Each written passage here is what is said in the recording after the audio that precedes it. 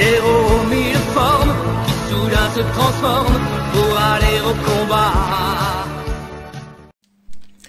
Hello les petits amis, ravi de vous retrouver en ce début de semaine. J'espère que le week-end s'est bien passé, que vos vacances, pour ceux qui ont la chance d'y être, se passent également du mieux possible.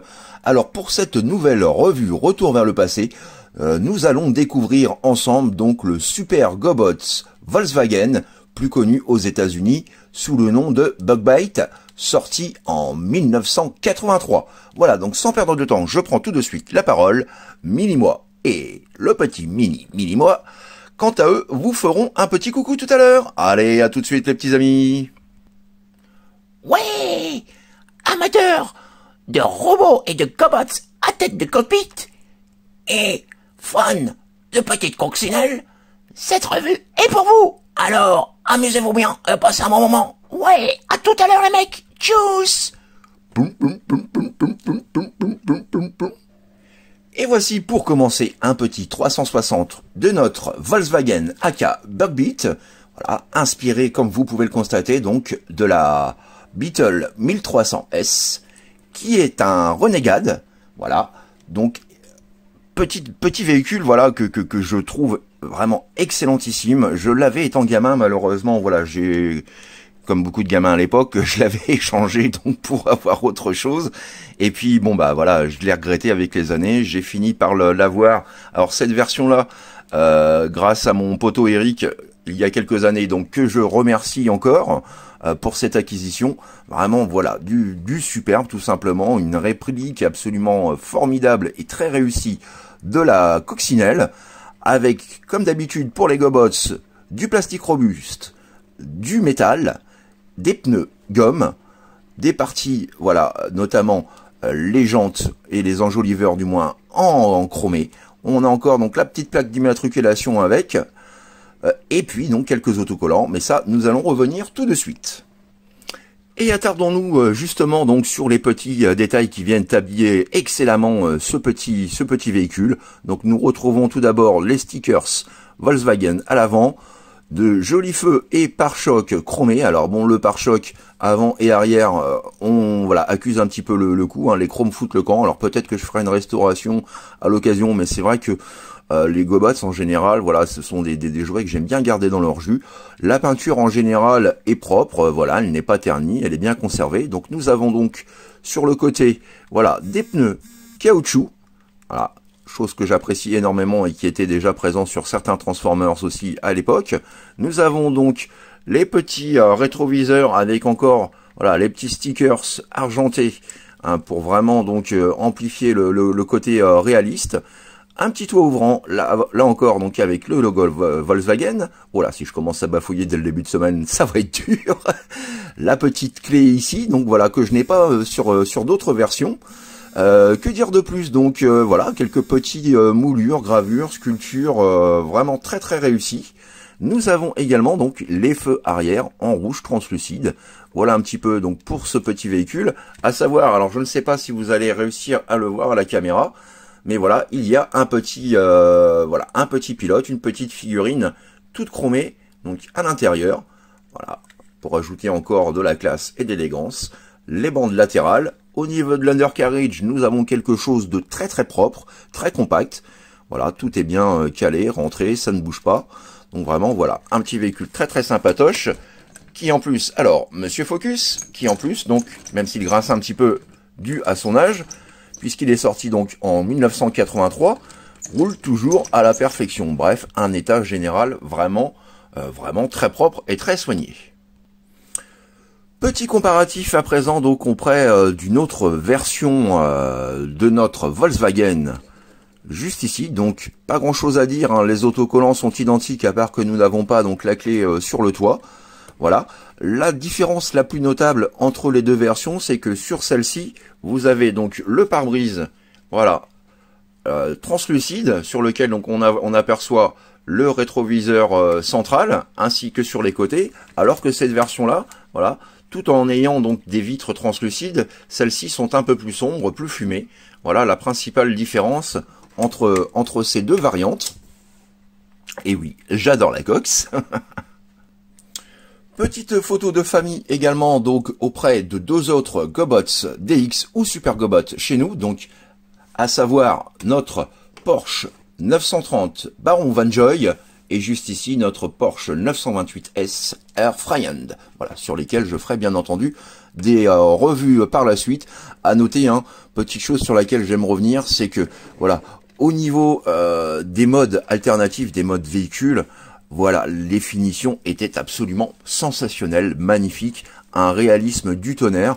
Euh, moi, j'avais aussi des copains à l'époque qui ne connaissaient pas trop les jouets GoBots et qui, lorsqu'ils euh, voilà les ont découverts, ont cru vraiment qu'il s'agissait de petites voitures en miniature. Voilà, quelle ne fut pas leur surprise en voyant qu'elles pouvaient se transformer en robots. Donc voilà, vraiment au niveau euh, du mode alternatif, c'est vraiment de toute beauté.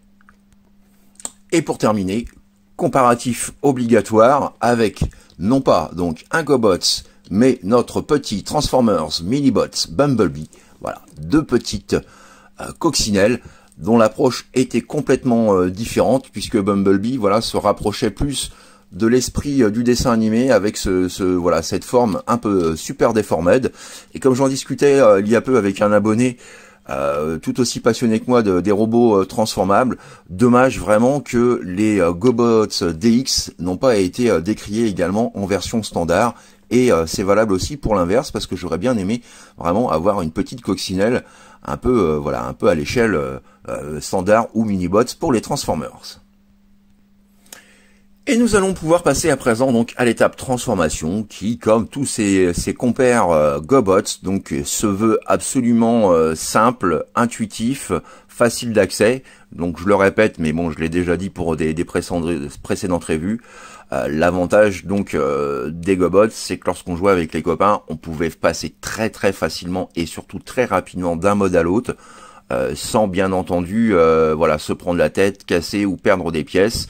Là, c'était vraiment euh, la transfo était super rapide, donc voilà, niveau jouabilité, on avait vraiment de quoi s'abuser. Donc tout d'abord, vous allez prendre les ailes arrière, faire basculer toute cette partie-là, et vous allez loquer donc cette pièce-là juste ici, comme ceci. Ensuite, vous allez pouvoir faire voilà une petite rotation de façon à dégager les pieds. Et voilà, donc comme vous pouvez le constater jusque-là, rien de bien compliqué. Alors je remonte un petit peu la camérouche. Ensuite, vous prenez toute cette partie-là, vous la faites basculer, vous la loquez grâce aux deux ergots qui se trouvent ici. Vous allez la loquer ici et ici, comme ceci. Et auparavant, donc, vous pensez à sortir et dégager ce qui va venir former les bras. Voilà, une fois que c'est fait, on cale tout comme ceci. Ensuite, vous pouvez voilà, faire une petite rotation, sortir les avant-bras en forme de pince, hein, comme pour de, nombreux euh, Gobots DX. Et dernière étape, donc vous rabaissez légèrement cette petite pièce-là juste en haut, et vous faites, voilà, basculer le cockpit derrière en avant, comme ceci, de façon à pouvoir former le cucu, la tête. Petite chose que j'ai oublié donc de vous montrer euh, pour le mode véhicule, c'est que voilà, je possède également donc son petit euh, double laser d'attaque, voilà, que l'on peut placer, que ce soit en mode véhicule ou en mode robot, sur l'avant du visage, comme ceci. Et oui, il tire avec son cucu sa tête. Petit 360 à présent donc de notre Volkswagen AK Bugbeat. Voilà, pas grand chose de pas grand chose à dire. Hein. Le mode euh, le mode robot est vraiment euh, très très simplifié. Bon, faut dire qu'on est dans des robots qui sont pas loin de, de 40 ans aujourd'hui. Alors certes, les Transformers avaient des têtes, ce qui n'était pas le cas de, de ces Gobots là, mais mais voilà, on avait quand même quelque chose, voilà, quelque chose de vraiment très très réussi pour l'époque. Euh, quelque chose que j'aime euh, que j'aime beaucoup. Donc à savoir également que ce petit euh, bug beat a été décrié aussi en version rouge, donc déjà un peu plus difficile à, trouver, donc bah, que ce soit sur internet ou en général et qu'on trouve également malheureusement à des prix souvent un peu exagérés. Voilà un petit peu pour notre mode robot. Attardons-nous d'un peu plus près, une fois de plus, donc, sur, voilà, le cockpit qui forme l'unité principale et aussi donc euh, le voilà le la tête de notre Gobots. On peut dire qu'il peut être plus ou moins piloté par un petit personnage dans le jouet en tout cas. Donc euh, voilà, ce qui ce qui pour moi n'est pas trop gênant puisque je partais du principe où c'était avant tout quand je jouais avec mes robots un make-up piloté par l'homme. Donc voilà, qui n'est pas vraiment de visage ne me dérangeait pas plus que ça. Donc avec son double laser. Au niveau définition, pas grand chose à dire. Bon, les chromes euh, des bras euh, partent un petit peu aussi avec le temps, mais voilà, hein, c'est toujours euh, voilà, c'est toujours propre avec les stickers, toutes les, les parties métalliques aussi qui le rendent non seulement stable, mais également robuste et aussi un petit peu un petit peu rigide. Et justement, donc au niveau des articulations, là encore, vous le savez, les GoBots sont très très basiques. Donc pour celui-ci, vous allez simplement pouvoir effectuer une rotation intégrale du bras une articulation optimum de l'avant-bras de par sa transformation, pas de rotation de quoi que ce soit, ni du bassin, et pour les jambes, donc pareil, c'est euh, fixe, voilà, c'est rigide, la seule chose que vous pourrez bouger, ce sont voilà, ses pieds, comme ceci, et voilà donc pour les articulations extrêmement sommaires, mais là encore, donc c'était du jouet, et donc on pouvait jouer avec les bastonnets, on n'avait pas peur que ça casse. Petite photo de famille donc pour terminer auprès donc de mes deux versions euh, Bugbeat ou Volkswagen puisqu'il s'agit là donc des versions euh, Bandai. Hein, je, vous, le montrerai juste après. J'ai oublié de, vous le montrer lors de ma présentation. Donc voilà, pas grand chose à dire. Hein, ils sont absolument identiques. Ce sont les mêmes moules. Là encore, la seule différence notable, ce sont voilà le pare-brise plus foncé et plus effumé sur celui-ci, alors que celui-ci donc possède un pare-brise et des vitres plus claires. Voilà donc concernant l'essentiel des différences pour ces deux modèles.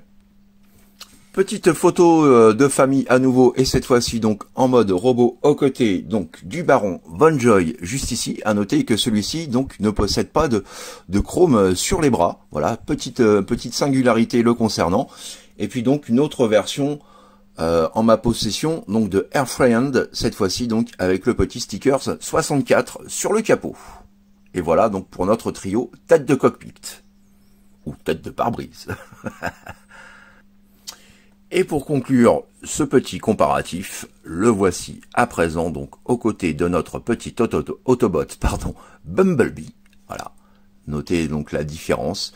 Alors certes, malgré sa taille, le petit Bumblebee est quand même fort sympathique. Euh, le Gobots est assez kitsch aujourd'hui euh, dans son mode dans son mode robot.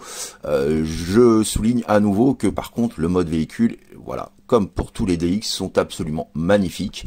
Voilà donc notre petit Bumblebee et si on le souhaite, pour pas faire jaloux, le voici aussi avec une tête de vitre.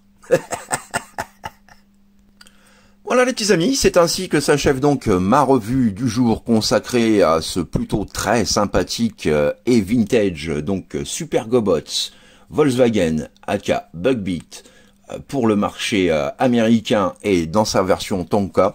Donc je vous le rappelle, hein, donc, il ne s'agit plus de la version Poppy, puisque voilà Poppy avait fait faillite entre-temps, avait coulé et fermé ses portes, et du coup donc c'était Bandai. Alors là encore, j'espère que on va pouvoir apercevoir quelque chose à la camion rouge. C'était Bandai donc qui avait repris les rênes. Alors si je le mets dans le bon sens, voilà, ce sera beaucoup plus pratique. Voilà, voilà, voilà pour cette petite revue. J'espère que voilà euh, bah, cette dernière vous a permis donc pour les uns de redécouvrir cette euh, figurine emblématique, ce robot emblématique des années 80, et pour les autres, les plus jeunes, voilà, de découvrir un petit peu toujours dans l'histoire et l'évolution euh, des robots transformables, ce que donnaient aussi des robots de, de voilà du début des, des, années 80. Voilà donc pour ce petit voyage dans le passé. Euh, j'espère que vous avez apprécié. N'hésitez pas, comme toujours, à laisser, vos avis, vos impressions, vos suggestions en commentaire. Euh, d'avance, merci infiniment pour tous vos petits pouces bleus que vous pourrez donc me laisser, qui me font toujours bien plaisir, comme vous le savez. Petit aparté, juste pour vous dire que mon ami euh, reviewer euh, Bat DBZ Ultra ou Bat DBZ, je le mettrai donc euh, dans ma description, a fait donc une petite radio libre ce week-end. Il m'a gentiment invité, donc j'étais son, invité d'honneur euh, pour euh, voilà pour euh, cette petite radio libre. Donc n'hésitez pas à consulter sa page YouTube de façon à voir un petit peu cette vidéo où on parle de nous, où on parle de moi, où il me pose des questions. Voilà, si vous voulez en savoir un petit peu plus sur moi, et c'est l'occasion également donc de vous abonner à sa chaîne. ce garçon est vraiment très très sympathique, un mec que j'apprécie énormément. Voilà, qui fait ses revues en toute simplicité, mais avec passion, et ça c'est vraiment excellentissime. Voilà, donc un petit peu de, quand même de, de, promo pour lui. Euh, nous nous retrouverons quant à nous, bah, je ne pense pas cette semaine parce que voilà, avec euh, voilà, je pense me prendre quelques jours de, vacances et de repos euh, bien mérités.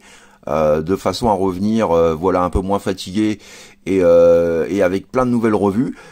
J'attends un colis donc euh, depuis plus d'un mois et demi. Donc voilà, si je l'ai, au pire des cas, euh, je ferai une, un, petit euh, pour vous le, vous le montrer. Si ce n'est pas le cas, donc on se retrouvera début de semaine prochaine pour de nouvelles aventures.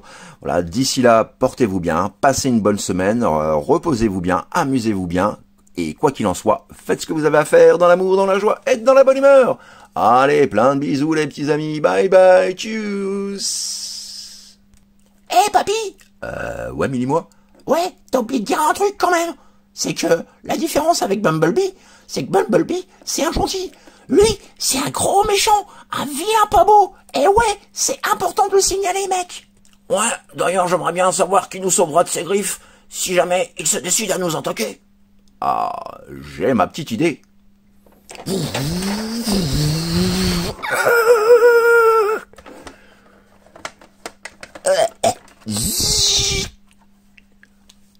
Salut les deux gros nazes C'est moi, Bruce Wayne. Je suis là pour vous aider. Tu es? Mais Bruce Wayne, ça me dit quelque chose. Mais oui, c'est normal. Hop là Je suis le Batou Le Batou Batman. Eh ouais Et moi, je peux vous sauver de ces griffes. Hein Pas vrai les deux trous de balle? Ouais, euh, je me demande quand même si on gagne au change, hein. Bande de BZ, qui peut te battre? Voilà, copain, défi accepté. À ton tour maintenant. Allez, mon petit bateau, on s'y met, on s'y met, allez. I would have waited an eternity for this. It's over, Pride.